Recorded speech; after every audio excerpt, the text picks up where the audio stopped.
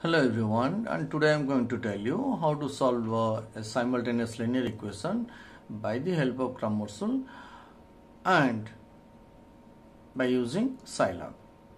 That means rule by Scilab. Okay.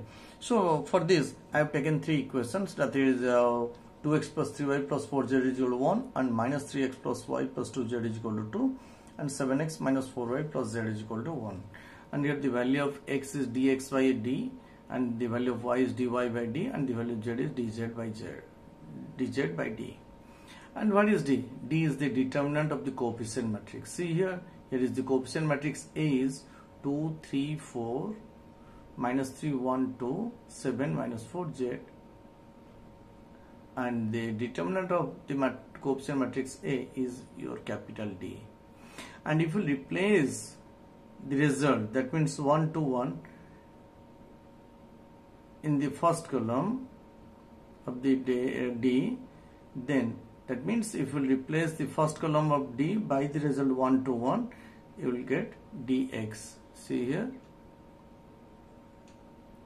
Your D is the coefficient determinant of the coefficient matrix and the result is 1 to 1 see here the result is 1 to 1 and if the first column of D is replaced by 1 to 1 it will become dx the second column third column of D will remain same in dx. And in case of dy the second column will be replaced by b that is uh, the result 1 to 1 and the first and third column should remain same as that of d.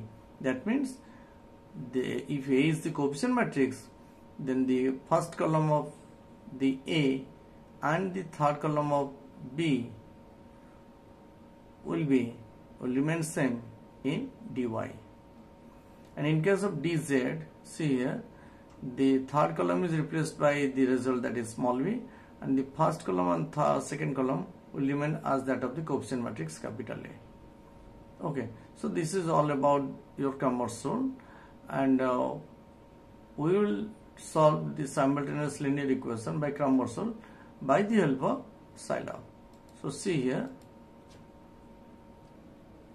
see here in Scilab I have written in the side note to solve by Cramer's rule. And first clear you should write clear then semicolon. And uh, I have written the three given equations by double right slash okay now let us start the program. Your capital A is the determinant of the coefficient matrix. That means simply capital A is the coefficient matrix. That is 2 3 4 see, see here the first row is 2 3 4 and the first row is uh, the elements are written uh, in the uh, here. And after that I have given a semicolon. And if we will put a semicolon that means uh, we will move to the second row. Okay. In the second row it is minus 3 1 2 minus 3 1 2 and then put a semicolon so that you will move to the third row. That is uh, 7 minus 4 1 okay. And your B is the result that is 1 to 1 the first row only 1 second row only 2 third row is 1 so after 1 I have given semicolon. Then after 2 I have given semicolon. Then 1 okay so what is D? I have told you already determinant of the coefficient matrix A.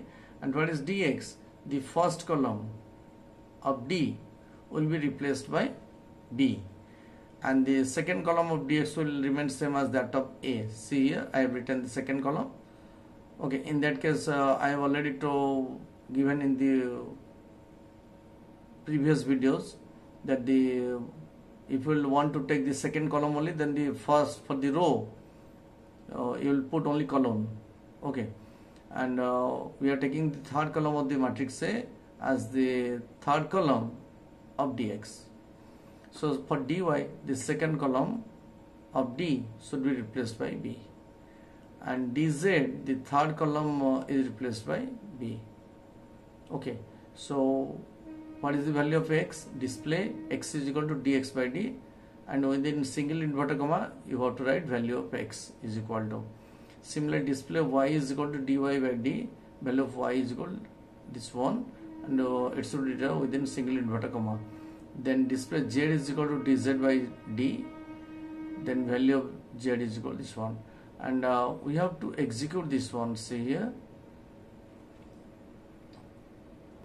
Now see how to execute this one. I am clicking this one so that in the console you will get the result. Value of x is equal to this one value of y is equal to this one value of z this one. This is the output okay? And uh, the output will come in the console okay? So this is all about the Cramer's rule. And if there will be any doubt any doubt then you can ask me in the comment box okay? Thank you